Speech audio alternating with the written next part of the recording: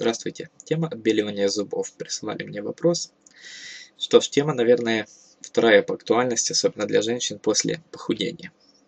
Очень интересует. Сейчас есть профессиональные методики, многие домашние. Как можно выбелить, капитально выбелить зубы, даже в домашних условиях. Сразу скажу, я не буду обсуждать методики с абразивными материалами, например, содой, там, с активированным углем, натирают ими зубы, потому что это фактически терка для зубов. Это, это стирает не только налет, но и эмаль. И, соответственно, приносит большой вред зубам. Такого делать не надо. Даже отбеливающие зубные пасты, которые содержат соду, это основной смысл, тоже нельзя круглый год использовать, лишь время от времени, потом менять на другие, потому что это абразивный материал, как терка. Так, ну, лучше возьми болгаркой сними, тогда, да и все. Но есть как в профессиональных, как и домашние методики, это методики с э, перекисью водорода. Как происходит действие? Многие боятся. Я в свое время тоже, когда впервые услыхал, думал, «Ну, это вполне может разрушить и эмаль, и все. Нет. Специфика какая? Зуб имеет три главных слоя. Да? Внутренний это пульпа, или то, что говорят в народе нерв зуба. Потом идет дентин, это вот как раз средний слой, который дает основной цвет зуба. Именно от него в первую очередь зависит цвет зуба. И далее идет эмаль. Эмаль прозрачная обычно. Прозрачность бывает разная, но в основном она прозрачная. Ну и на эмали может быть еще налет, зубной камень, который тоже портит вид. Так вот, соответственно, перед всякими этими процедурами желательно пройти хорошую гигиену зубов, снять налеты, снять зубные камни. У стоматологов есть специальная аппаратура для этого. Иногда бывает даже этого достаточно. Но при этом эмаль сохраняется. Эти же методики с перекисью водорода и подобными веществами, они что делают? Перекись водорода сквозь эмаль проникает в дентин. В дентин. Эмаль остается целой, ну, чуть-чуть ее пористость повышается, потом снова восстанавливается но она не сдирается при этом, лишь пористее становится. Проникает в дентин, и там в дентине происходит отбеливание его.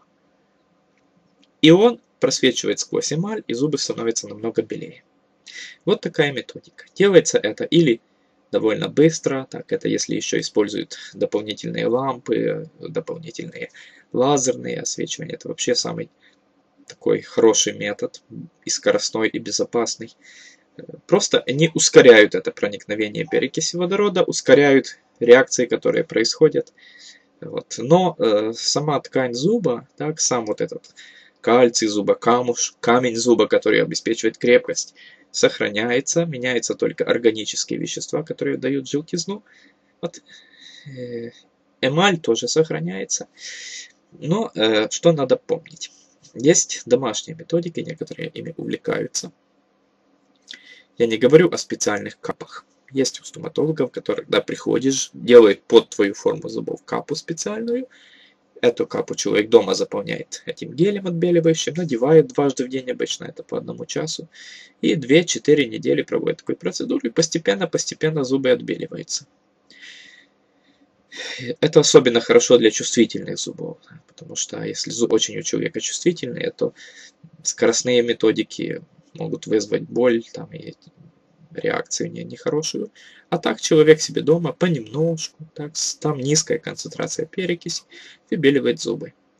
Капы делаются так, что э, либо не распространяется по рту, так, они более-менее ограничивают его в пределах зубов. Потом человек гель смывает, вот, опять же защищают именно площадью зуба. В домашних же условиях некоторые разводят перекись водорода, смачивают зубы. Вот. И тут что? Во-первых, надо точную концентрацию. Она каждого индивидуальная, зависит от чувствительности.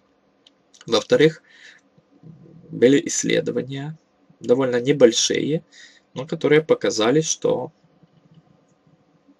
пациенты есть с раком, с раком языка, которые использовали эти методики. Это значит, что перекись может в принципе вызывать рак. Это не значит буквально с первого же использования, но человек раз, другой, третий и повышает, может повысить риск рака.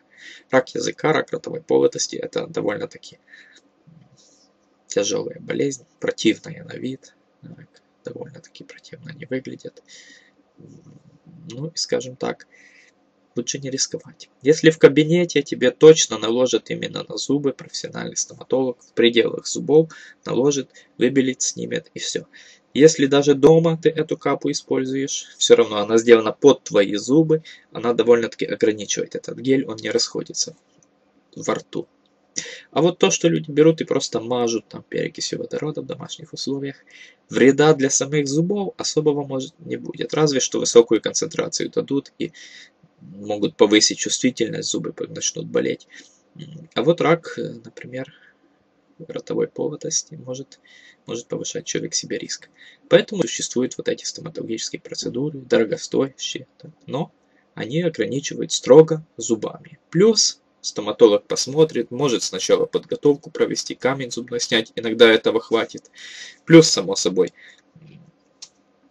человек должен отказываться от курения, от чая, по крайней мере, пару недель, потому что это все очень, очень черняет зубы.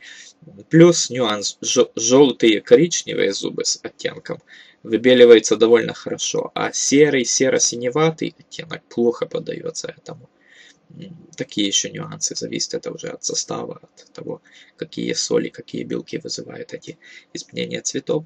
Не все поддается. Э, но главное, что стоматолог это ограничит именно зубами, твоими зубами, и все, больше никуда оно не пойдет, и риск минимальный. Вот такие нюансы. В общем, процедура довольно-таки безопасная, так, но в, дом, в доморощенных разных методиках есть определенная опасность. Я о ней предупредил, а вам прекрасного здоровья и лучезарной улыбки. Всем пока!